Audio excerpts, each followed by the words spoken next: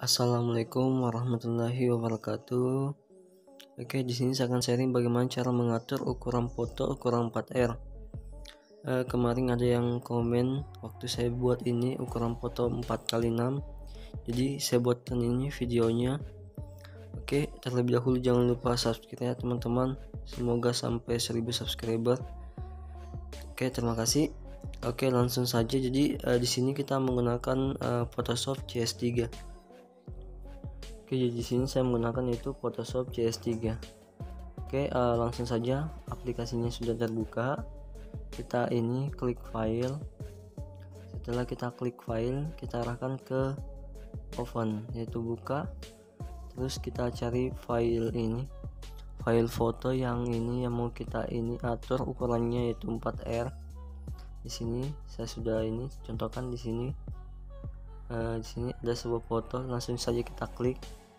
Lalu kita klik open jadi secara otomatis foto yang tadi kita klik itu akan terbuka di Photoshop CS3 seperti ini bisa kita lihat. Kita perbesar terlebih dahulu kontrol tambah. Lalu kita arahkan ke menu tools yaitu crop. Kita klik crop. Terus kita ini atur ukurannya. Jadi di sini yaitu lebarnya kita berikan tuh 10,2 cm sedangkan height yaitu tingginya 15,2 cm jadi ini adalah ukuran 4R kita crop ini fotonya sesuai kebutuhan atau keinginan kita fotonya. Jadi uh, setelah kita nanti crop jadi otomatis uh, ukuran itu sudah berubah. Kita crop. Jadi proses loading kita tunggu. Alhamdulillah sudah ini sudah selesai. Kita bisa lihat ini.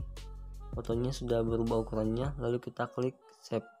Klik file baru klik save as.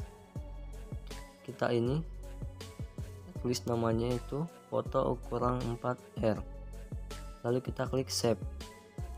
Jadi secara otomatis filenya akan tersave. Klik OK jadi uh, filenya itu sudah tersimpan di ini di desktop yang saya simpan. Kita bisa cek ini filenya apakah sudah tersimpan atau tidak. Bisa kita buktikan. Kita klik desktop. Ini bisa kita lihat. Jadi fotonya sudah tersimpan. Semoga video ini bermanfaat. Jangan lupa like share dan subscribe. Assalamualaikum warahmatullahi wabarakatuh